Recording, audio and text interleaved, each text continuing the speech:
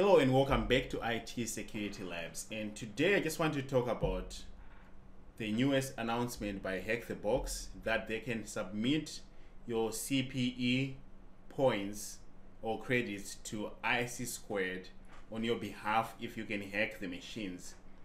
I'm very excited because I have been working on Hack the Box machine, hacking a few machines uh, a week, and I was just doing that for fun and now if that's going to help me with my CPEs I that just makes it more exciting for me.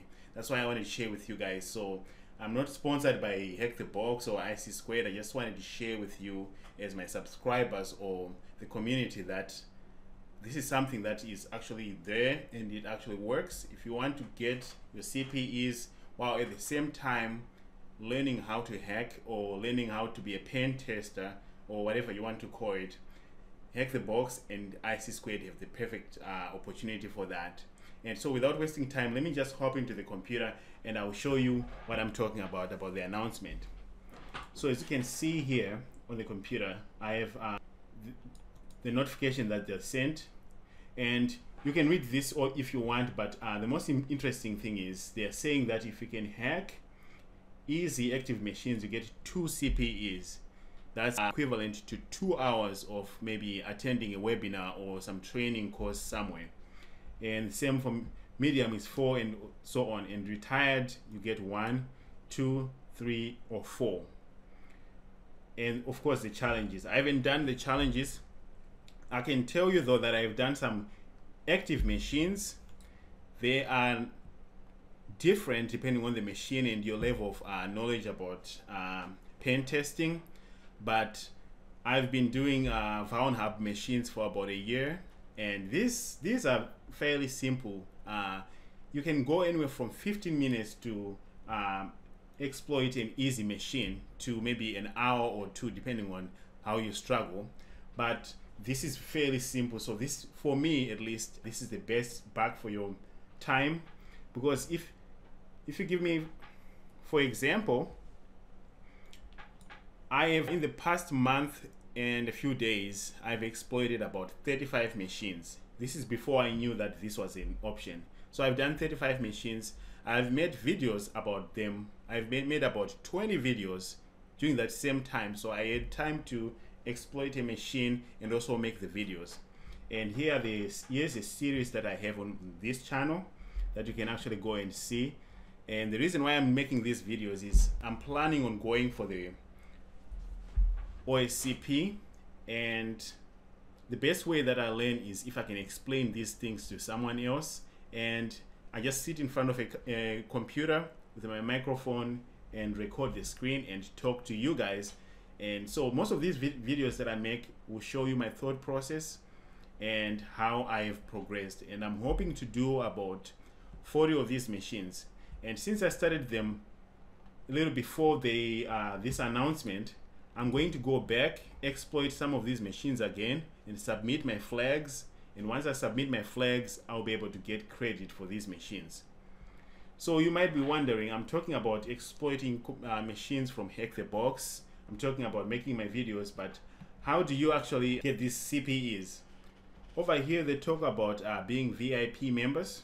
So VIP members pay maybe, I think it's about $12, 12 US dollars.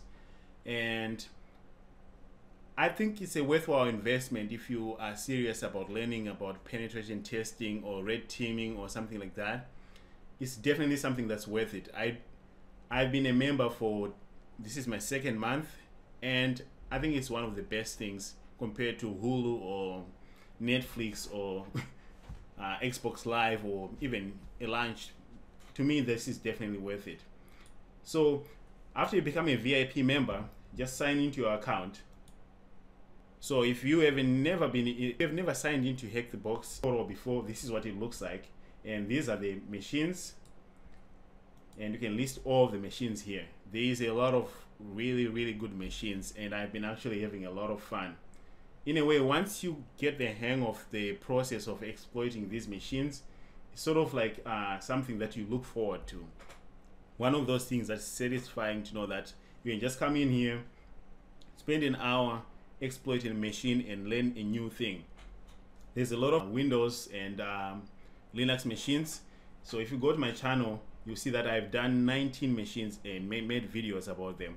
One thing that you notice is, for example, some of the machines for like Sense, this video is only 14 minutes. You can literally exploit this machine in under 30 minutes without knowing anything about it. So, and when you do that, this is a retired machine, you get one point, which is equivalent to an hour. So you are like killing two birds with one stone by doing this. Then from here, um, let me show you, I have only submitted um, one medium machine and one easy machine so far. And today I verified that I can actually, I actually got three points. So if you go to your profile and do settings,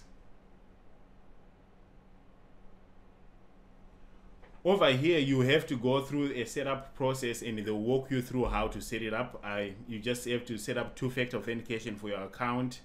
And there's one other step that I, I don't remember but as you can see this month I've earned three credits and these credits will go towards my CISSP and this I believe is one of the best ways to gain your continued education points or CPEs. Just wanted to give you a heads up just in case you haven't noticed it. And um, if you want you can go ahead and do uh, new to hacking or learning about how you can exploit machines.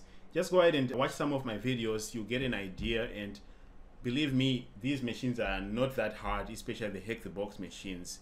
I'm making them harder for myself if you follow my series because i'm avoiding Metasploit, the, the whole framework itself. But if you throw Metasploit at most of these machines in hack the box, you will notice that they are very, very easy to exploit. And you also learn a bunch of useful things, whether you are a network administrator, system administrator, or even a help desk person. You understand different techniques that are being used by attackers to get into your systems, which I believe is valuable because if you know what the attackers are doing, you will definitely be able to uh, protect your environment better. And this is just one step towards that goal where you can become knowledgeable and actually be a valuable asset to your employer or your clients or wherever you're working for. So that was it for me.